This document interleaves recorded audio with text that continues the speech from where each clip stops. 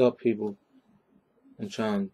Um, I got somebody doing a fake ID business. If you're looking for fake IDs, 100% legit. Hundred dollars to get them made. There's a lot of people on here that's charging 250. Um, I have one right here. Wait one second. Right here.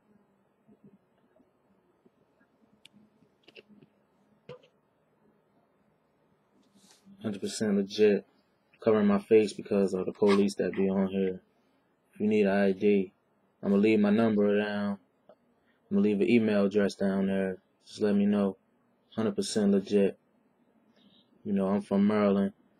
All you do is, um, we'll talk about the payment and the shipping later.